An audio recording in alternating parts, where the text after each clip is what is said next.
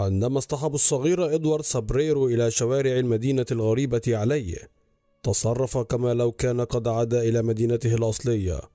واجهوه بأشخاص لم يرهم من قبل فعرف اسم كل منهم وحياهم كأصدقاء قدامى. وانهمرت الدموع من عيون والديه عندما رأوه يندفع نحو امرأة في منتصف عمرها تقف إلى جانب الطريق وهو يصيح. هذه هي أمي الأخرى. لقد أدرك الوالدان في هذه اللحظة أن معجزة قد حدثت ذلك أن شخصية طفل آخر لم يعرفاه من قبل رحل عن هذه الدنيا قد تقمصت جسد ابنهما إدوارد. حاليا يعيش إدوارد الذي لم يتجاوز الخامسة من عمره مع عائلته في إحدى ضواحي هافانا بكوبا وهو يتكلم دائما عن حياته الأخرى عن الأصدقاء الذين قابلهم.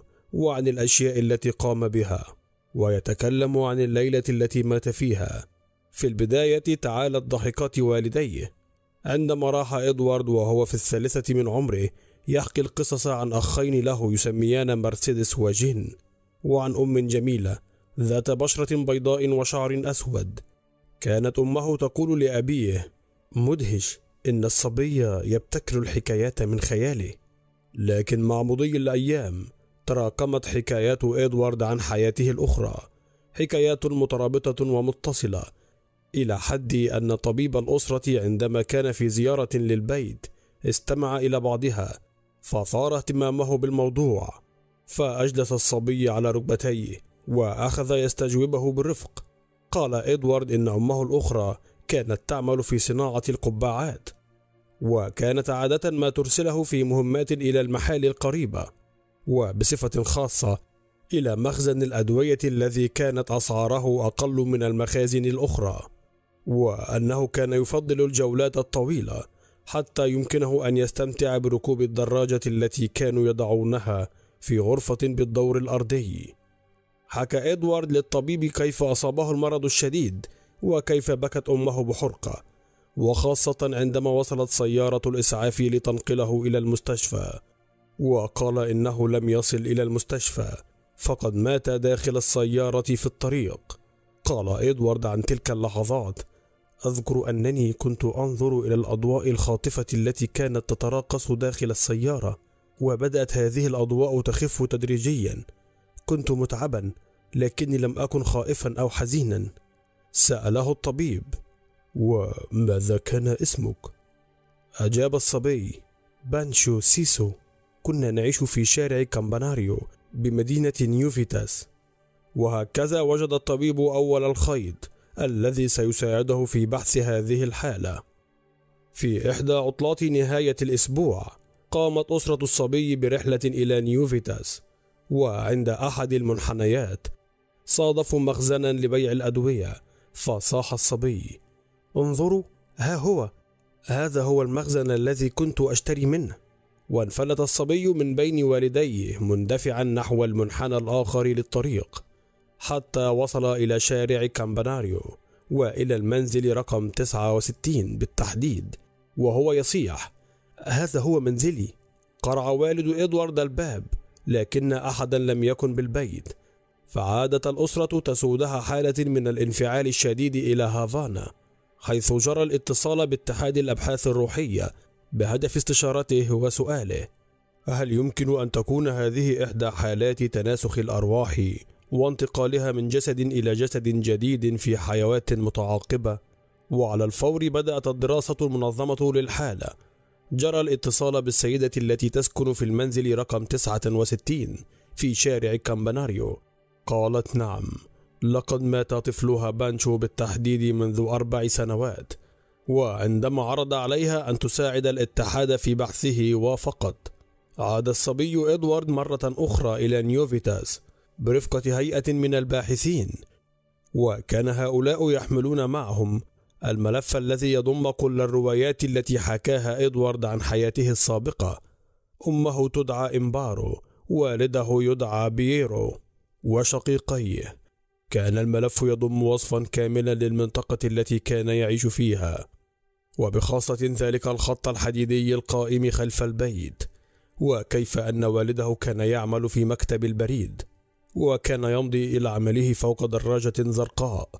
وقد ذكر أسماء الأماكن والمدن التي سافرت إليها الأسرة في رحلاتها ووصف بدقة ما جرى في هذه الرحلات وتكلم عن كلب كان يملكه واسمه تولو وحكى عن النهاية المؤسفة لذلك الكلب بين عجلات الترام. وبشكل خاص تضمن الملف 53 واقعة من وقائع الحياة اليومية لتلك الأسرة.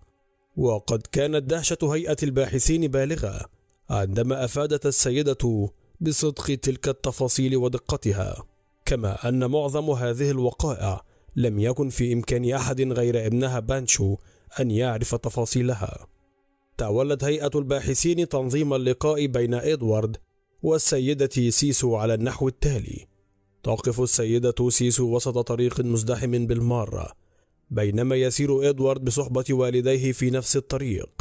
وعندما تم هذا توقف الصبي عن السير عندما أبصر السيدة سيسو. صاح على الفور بانفعال كبير. هذه هي أمي الأخرى. هناك عند فترينة المحل بكت السيدة كابيريرو. وجرت السيدة سيسو مبتعدة. غير قادرة على مواجهة هذه الظاهرة الغريبة.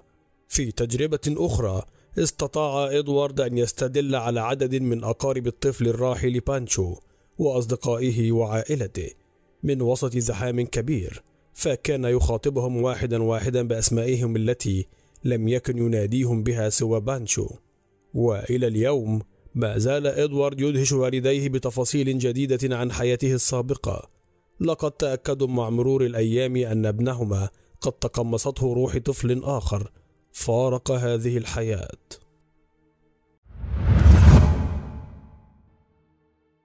أمام الشهود وفي وضح النهار كان السيد دانييل هوم يرتفع بجسده عن الأرض لعدة أقدام ثم يهبط إليها ويعود ليحلق في الفضاء من جديد. لم يكن بإمكان أحد أن يفسر هذه الظاهرة كما لم يستطع أحد هؤلاء الشهود أن يكتشف خدعة ما يعتمد عليها هوم في عرضه هذا. ولد دانييل هوم في اسكتلندا وشب في أمريكا كصبي صغير كان يذهل والديه ويربكهما بوصفه الأشياء التي يراها ولا يريانها. وهكذا أطلق عليه منذ صغره لقب الصبي الساحر.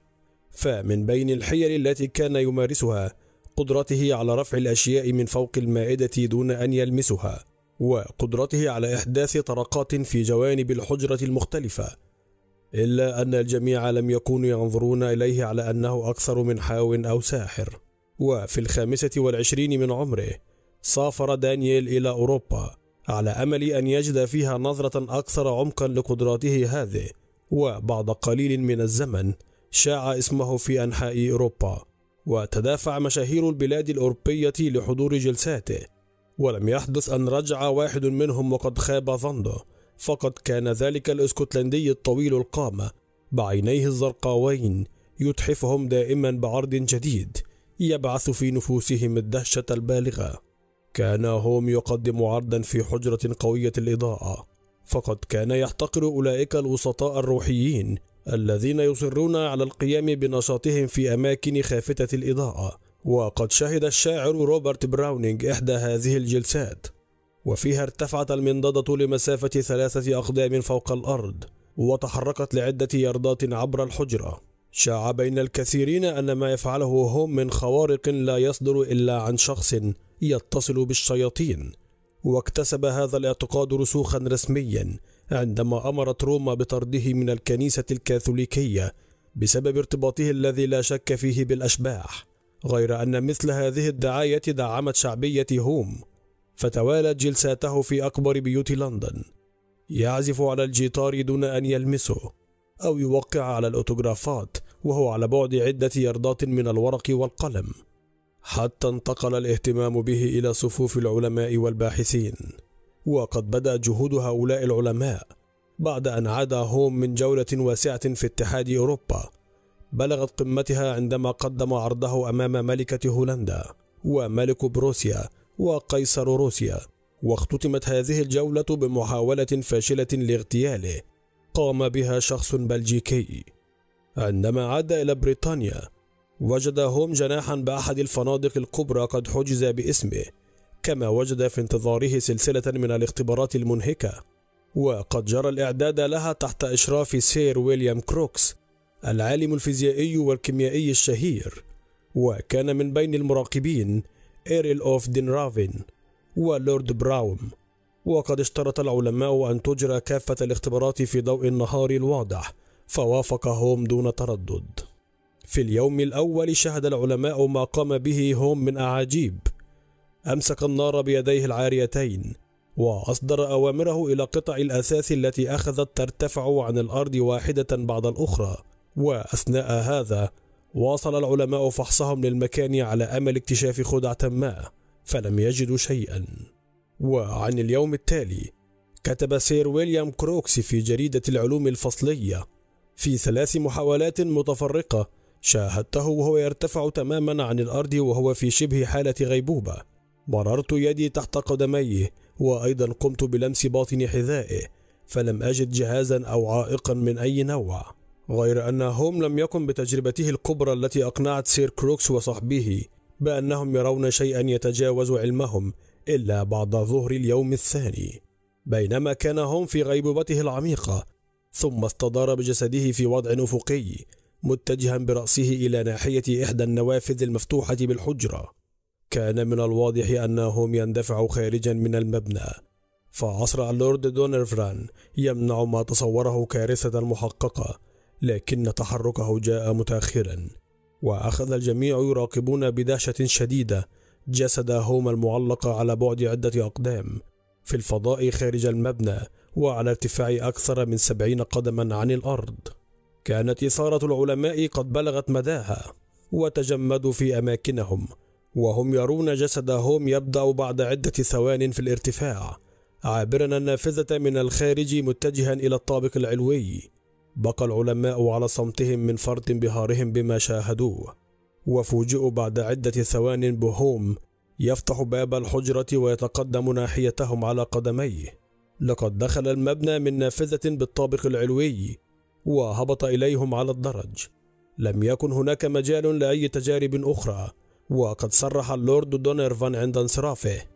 إذا حدث أن أخبرني شخص بما جرى لاتهمته بالجنون أو السكر البين لكني الآن أصبحت مقتنعا بأن شيئا كهذا يمكن أن يتحقق. مات دانيال هوم عندما بلغ 53 سنة من عمره وقد قضى حياته كلها يقدم عروضه في هذه الجلسات التي كان يعقدها في كل مكان. لكن الثابت هو أن دانيال هوم لم يحدث أن تقاضى بنسا واحدا لقاء أي عرض من هذه العروض العديدة التي كشفت عن مواهبه وقدراته الخارقة.